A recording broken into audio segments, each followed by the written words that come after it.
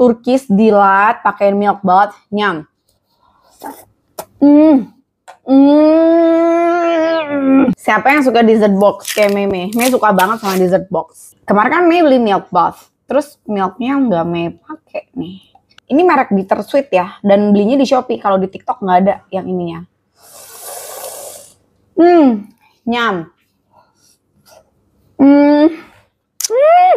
Yura nggak bisa Yura Yura. Ini enak banget Yura. Aduh. Milk bathnya nyam.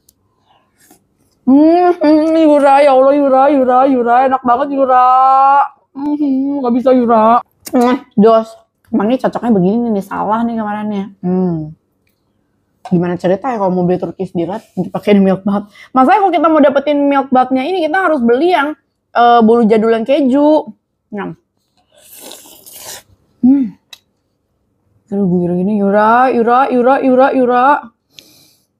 Aduh Yura, ini strategi yang paling tepat untuk makan Turkish Delight Yura. Nyam. Hmm. Hmm.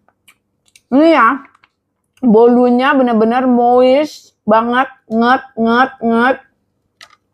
Kayak fudgy, coklatnya bener-bener matah, kental, pulen, legit. Uh. Hmm, yo. Ini gak suka dessert yang terlalu manis giung gitu, no. Cinta banget Kala ya ampun. Kala Kala nih apaan sih Kala? Hmm.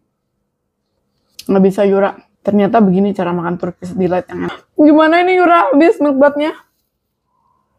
hmm hmm